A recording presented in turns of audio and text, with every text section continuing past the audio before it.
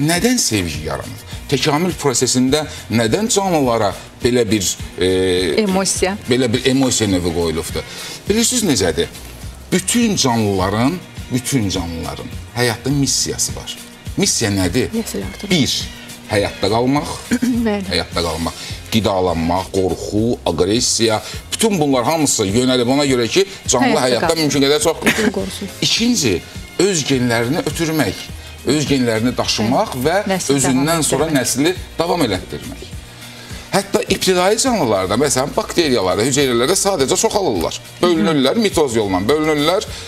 Yeni gələn evlad ana atanasının, atana yoxdur da orada.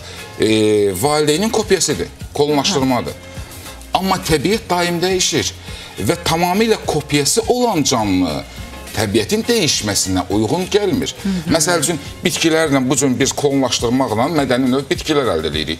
Amma bu mədəni bitkilər nə lazımdır? Xüsusi aqrotexniki qulluq lazımdır, gübrəsini vermək lazımdır. Əgər biz onu təbiətin öhdəsinə buraxsaq, onlar məhv olacaq. Nəticədə təkamül prosesində əmələ gəlir genlərin mübadiləsi. İki fərqli hüceyrə öz genlərini birləşdirir. Yeni yaranan hüceyrə kopya deyil artıq, müxtəlifdir. Və təbiət dəyişəndə ola bilər ki, ola bilər ki, bu müxtəlifliyə dözsün. Və balıqlardan başlayaraq artıq başlayır erkək və dişi hüceyrə.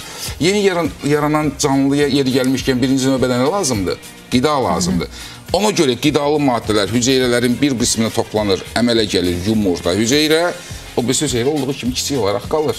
Yəni yumurta məhz qidalı maddələr toplanandır. Və nəticədə balıqlara qədər dişilər həcmcə böyükdür, erkəklər çox kiçiklər, balacadırlar, hörümçəklər və s. Amma söhbət nədir? Yeni gələn nəsilə həm də qulluq eləmək lazımdır. Onun müəyyən dövrə qədər baxmaq, böyütmək lazımdır. Erkək təkcə nəsil törətməkdən ibarət deyil, həm də həmin o canlıya qulluq etmək lazımdır. Və dişilər başlayır seçməyə.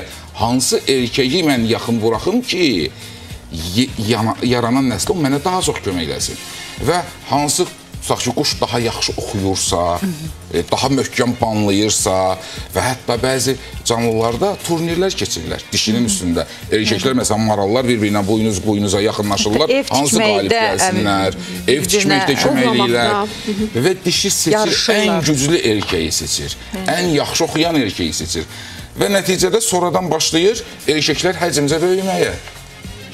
Və dişilərin seçdiyi cinsi seçmənin nəticəsində erkəklər həcmcə böyüyür. Ən yaxşısını seçdiyi üçün. Ən yaxşı seleksiya yaxın buraxır. olunur, daha yaxşılar qalır. Və sonradan məsəl üçün məməlilərdə və digər canlılarda erkək həcmcə daha böyükdür, nəinki dişilər.